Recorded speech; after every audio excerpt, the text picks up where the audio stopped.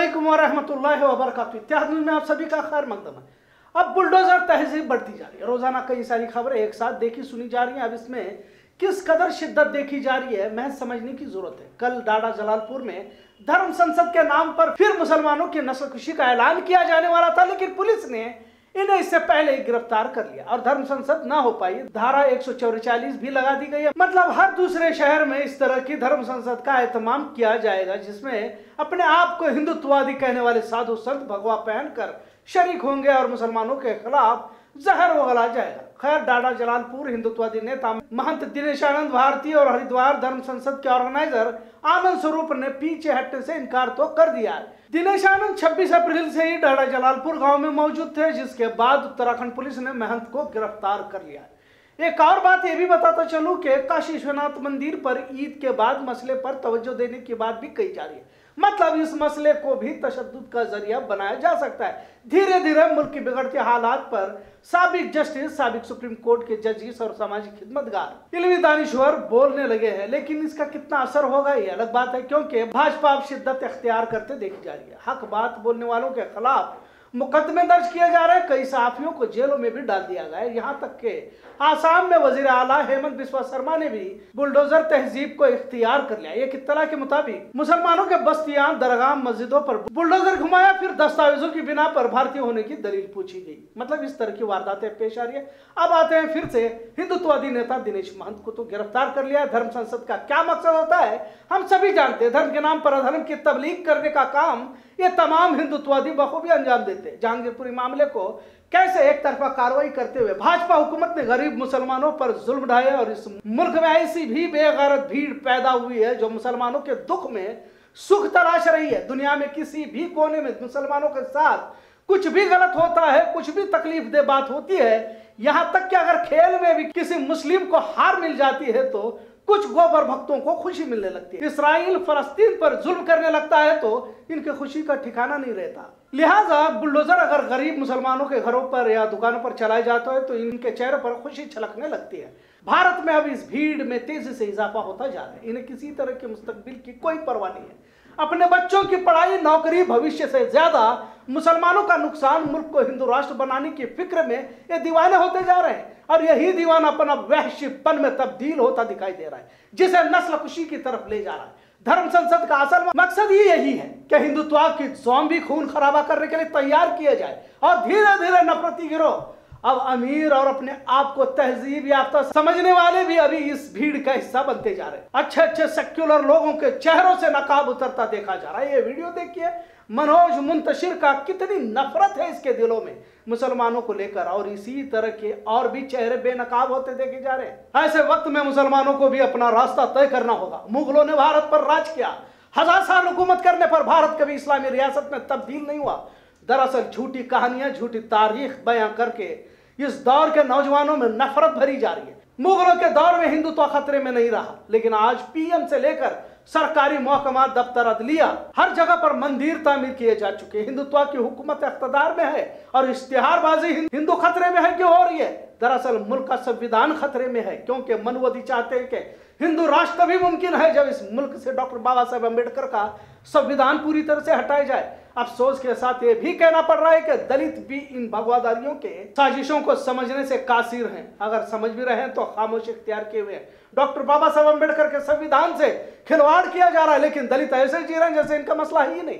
ये तो मुसलमानों का मसला है। और जाने अनजाने में संघी विचारधाराओं का साथ देते हुए भीड़ का हिस्सा बनते जा रहे हैं। महज कुछ मनुवादी ने फसाद का हिस्सा बना रहे और अपने बच्चों को आला तालीम के लिए विदेश भेज रहे ताकि फिर इनके सरों पर बैठकर इकतदार हासिल करे और गरीब मजदूर दरमियानी क्लास के बच्चों के हाथों में भगवा परचम देकर मस्जिदों के मीनारों पर चढ़ाया जाता है। कभी आपने देखा है कि कभी किसी राज ठाकरे के लड़के को किसी मस्जिद के मीनारे पर चढ़ता हुआ देखा हो या भगवा परचम लगाते हुए देखा हो? अमित शाह का बेटा जय शाह को कभी किसी भीड़ में जय श्री राम कहते हुए देखा है? मोदी के रिश्तेदारों में किसी को फसाद में नहीं देखा होगा। मतलब सड़कों पर, धर्म के नाम पर लड़ने वालों में नेता कभी नहीं मरते और ना जेल जाते हैं। खैर, अब मुसलमानों को भी बड़ी संजीदगी से सोचना होगा कि आने वाले दिनों में क्या मनसूबाबंदी होनी चाहिए। क्योंकि धीरे धीरे सेक्युलरवादी अब कम्युनल बनते जा रहे हैं। अब तो पुलिस और फौज अदलिया में भी ये जहर दाखिल होने की बात कही जा रही है। जहांगीरपुरी मामले में मुसलमानों के हक में कोई नहीं आया।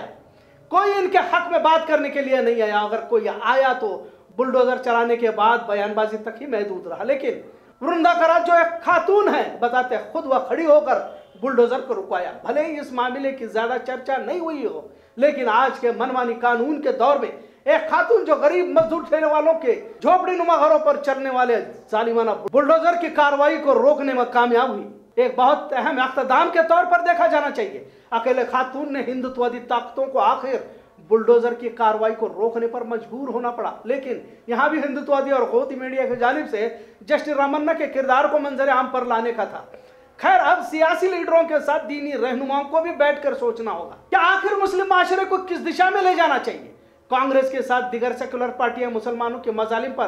खामोश इसलिए क्योंकि इन्हें भी अब हिंदू वोटों के खिसकने का डर सताने लगा है। फिर वो आम आदमी पार्टी हो या सपा, बसपा या कोई भी दिगर पार्टी। अगर वैसे देखा जाए तो मुसलमानों का सियासी वजूद ही खत्म हो चुका है। अगर ये कहा जाए तो गलत ना होगा।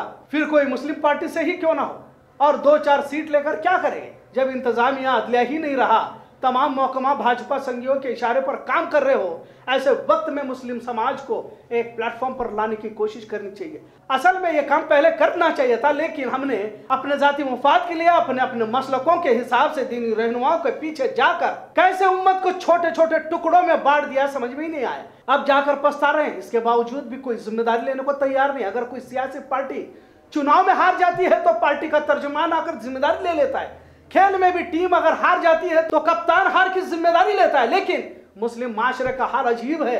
कोई भी दीनी रहनुमा आगे आकर बोलने के लिए तैयार नहीं के। हमारी कहीं तो गलती हुई है। हमने सही मंसूबे नहीं बनाए या फिर एक तालाबात के शिकार वगैरह जो भी हो। लेकिन यहाँ तमाम दीनी रहनुमा मिलकर उम्मत को ही जिम्मेदार ठहराते हुए देखा जाता है कि ये उम्मत इसलिए आजमाइश का शिकार हुई क्योंकि यह बदआमाली का नतीजा है। यकीनन हो भी सकता है। और है भी समझ लो। लेकिन आपकी कोई ज़िम्मेदारी नहीं थी। जो मौजूदा दौर में मुसलमानों की ऐसी हालत हुई है, शरीयत इस्लाम, अल्लाह रसूल, कोई भी किसी का भी कोई पास लिहाज रखने के लिए तैयार नहीं। और पूरी कौम, कौमी रहवर, रहनुमा सभी खामोश है। और यही रट लगाए जा रहे हैं कि बदामाली का नतीजा है। अब इसे बेहिसी न कही जाए तो क्या कहा जाए? लिहाजा एक नई शुरुआत की ज़रूरत है, वरना काफ़ी देर हो जाएगी। जहाँ हर तरफ़ हिंदू मुस्लिम नफरत का जहर घोलने का मुकाबला लगा हुआ है, वही बेलगाम, नई गली शाहपुर में हिंदू मुस्लिम इतिहाद की एक बेहतरीन तस्वीर देखी गई। नई दिल्ली मुस्लिम जमात की जानब से रोजा इफ्तार के इजलास का एहतमाम किया गया था, जिसमें खास तौर से हिंदू समाज के कई कैदों को बुलाया गया था। नेताजी यादव कारपोरेटर रवि साड़ुन सतीश, शाहपुर पुलिस थाने के P S I Manjunath Naik Amjad Momin, Ashfaq Hori Bharat Nagar punch committee, नई गली जमात के तमाम जिम्मेदार कसीर तादाद में शरीक रहे। नेताजी यादव ने मौजूदा हालात पर अफसोस का इजहार करते हुए हिंदू मुस्लिम इतिहाद की मिसाल कायम करने की बात कही और कहा कि शाहपुर नई गली में इतिहाद की तस्वीर देख सकते हैं। मौजूदा दौर में जिस कदर नफरत का जहर घोला जा रहा है, वही इस तरह हिंदू मुसलमानों को जोड़ने के भी इजलास होते रहे, ऐसी चर्चा शहर भर में देखी गई। इत्तेहाद में देखने के लिए शुक्रिया। अल्लाह हाफिज।